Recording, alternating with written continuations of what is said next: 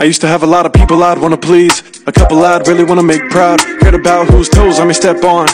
And I was taught to never look down. Now I walk around town so sure footed. I stepped up when they faux show couldn't. I'm regretting not a second of work that I put in. Could only follow someone close to me doing the pushing. Know my homies telepathic, making milli for the bros off of clever rapping. Yeah, yeah. Who wouldn't? Me to hell if it never happened.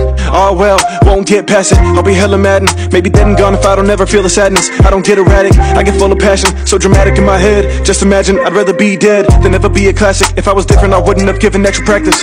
Instead, I could've party harder. Could've got the girl of my dreams, go to class, maybe have an alma mater.